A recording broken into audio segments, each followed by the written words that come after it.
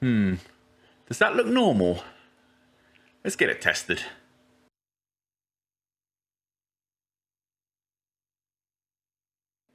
Hey everyone, Tino here, aka The Dirty Quant, and welcome back to the channel. We're going to do a little five minutes to intro to stats. This is a, um, a test which I think everyone should know. It's sort of just one of those little things that you should be in your toolkit, in your arsenal when handling data. And uh, it's really to test whether the data is normal. Big assumptions and a lot of uh, you know, downstream processes that we do. You know, think, oh, the data is going to be normal. Well, how do you know it's normal? You can even like, you know, look at a distribution, but you know, you can be fooled. So let's uh, let's see how we actually uh, tackle that. All right, cool. So we're going to be using something called a Jarque Bera test. I believe that's uh, Carlos Jarque and Anil Bera, um, you know, Mexican and Indian gentleman that came up with this. And it's actually pretty simple and actually pretty powerful. So what it does, it actually tests. It takes a sample from the data, so the, the data that you've got, and see, see uh, looks for two things, skewness and kurtosis, and checks, do they match a normal distribution, right? Simple as that. So intuitively, it's actually quite, quite straightforward. So we calculate a test statistics. Well, we don't, we can use a package, but you know, I think you should probably code this up yourself. I think it'd be useful, but very, very straightforward, right? So I'm going to be looking at this item here with the n, that's your sample size, so how many you have. And this is a, a test that actually expects a large sample size. So if you've got a small sample size, it's sort of problematic. And by big, I mean it's going to be about 2K plus, right? Otherwise, uh, issues arise. But anyway, let's just say you've got lots of data. In this world, in this uh, data-laden uh, world, um, it's easy to find it. Cool. So we've got S, and that's the sample skewness right here. So don't have to go into the into the details. It's pretty straightforward. Take the data, demean it, or you know, third moment, blah blah blah, uh, and then we'll do the same for, for kurtosis. So we've got S and K, plug them in the formula, gives us the value, and then we see, okay, is it normal, is it not, right? So as always, let's generate some random data and see what it looks like. So um, just going to generate really massive data set here. So 10, 100,000 data points, right? Huge, huge, huge, right? So what I'm going to do, generate the data, save it to this variable called norm data, put it in our Jarque Bera test.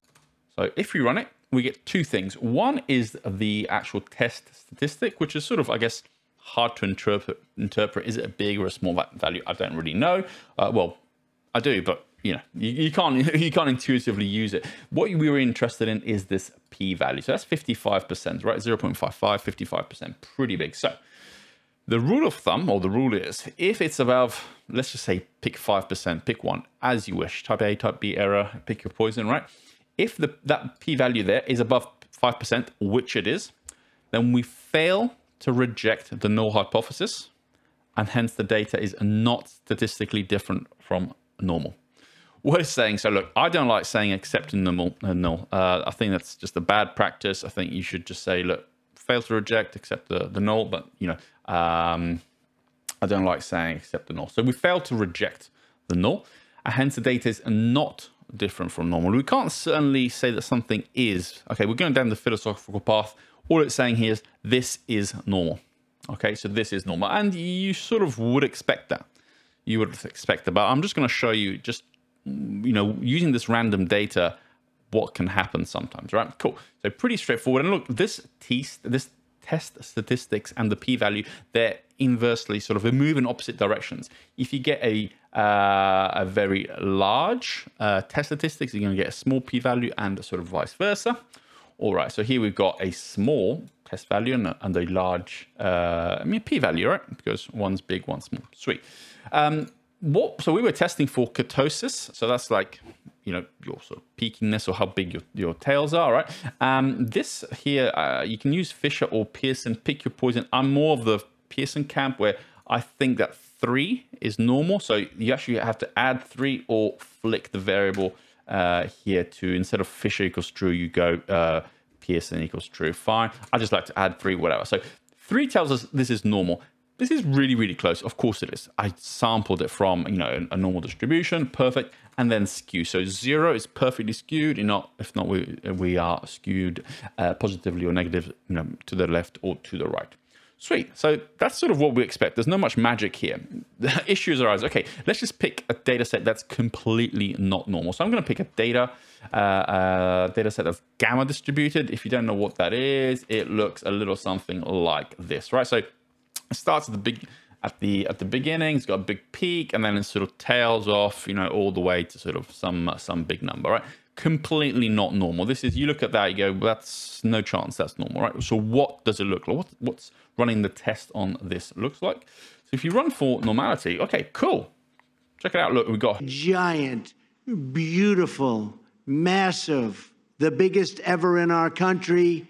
Uh, test statistics 13,000. If you compare it to the one that we did on the normal, we get like 1.1, whatever it is, right? And we look at the uh, the p-value, tiny, or zero, right? Because this is like there is just absolutely no chance that this is uh, is normal, right? So um, it's definitely, definitely, definitely different from normal, and it looks different from normal. I mean, that was an obvious one, right?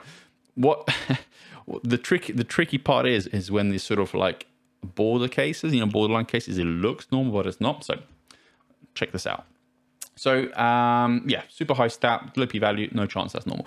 If we were to generate random normal data, let's say uh, 10,000 times, right? So I'm just going to keep picking distribution. And each time there's 5,000 data sets inside of it. So I'm number crunching a lot. So each each time I'm going to run the uh, JB test on it and see and get the p-value. What does that look like? So I'm literally, I think of it in this sort of this way. You know, you've got a machine that generates spheres or balls, right?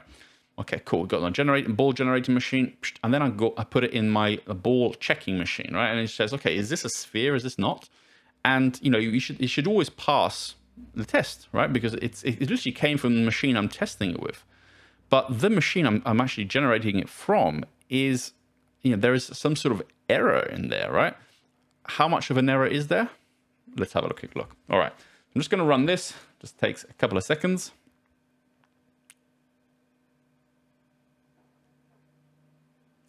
and it's done. Beautiful, right? So I'm not going to run this line quite yet, but this is, so what I've done, I run, I've got generated some data, uh, random normal data, and it's a size 5,000, and I've did that 10,000 times, right? And each time I ran the JB test on it, and then I extracted the p-value from it and saved it to uh, a variable called my data.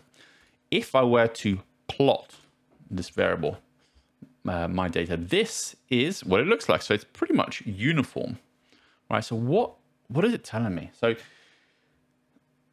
because I'm actually sam sampling from the null, the proportion of p the p value is exactly the same. You know, the, the, the incidence is exactly the same as the p value. So look, if I just look in that in that list called data, how many are below one percent? I get exactly one percent because that's the sort of error that I expect. Even though we sample from the null, I it's actually got rejected. Let's say if I were to pick 5%, look at that, 4.8%. So even though it literally generated from, uh, was it SciPy or whatever it is, normal, in 5% of cases, 1 in 20, it's going to fail the test.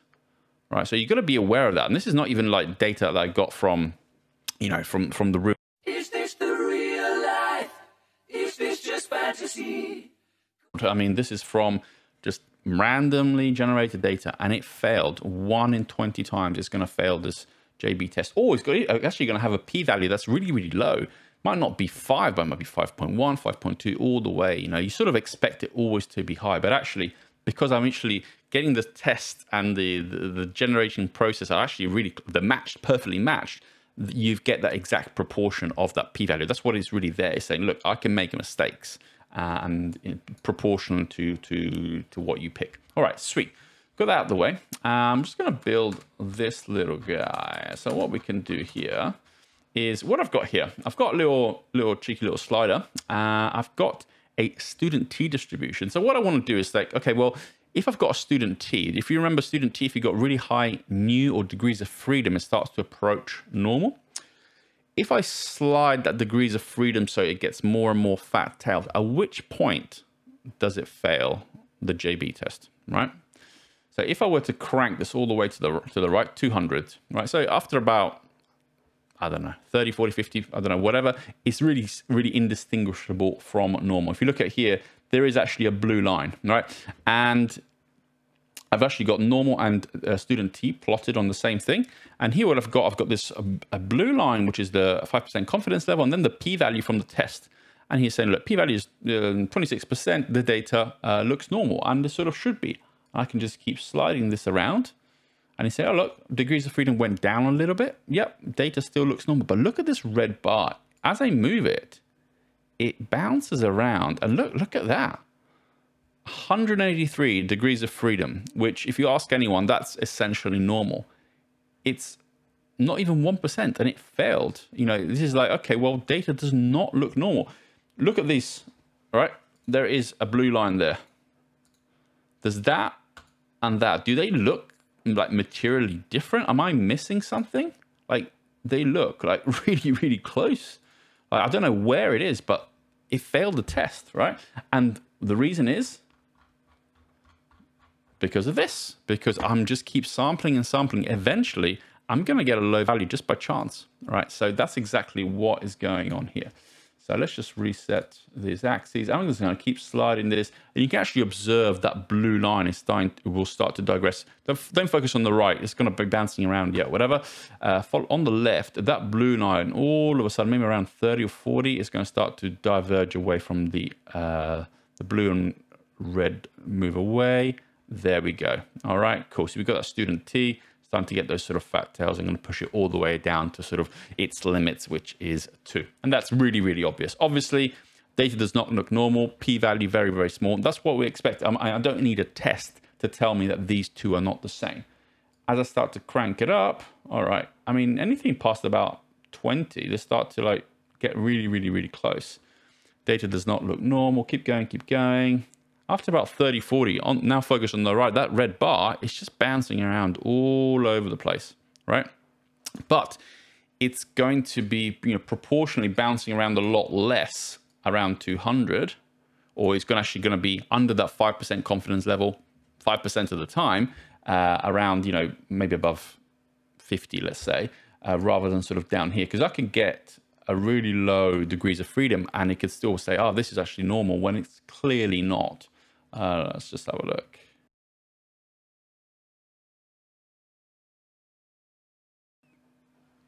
All right, you can see once in a while that uh, red bar does cross over that uh, 5%, even though we've got low degrees of room.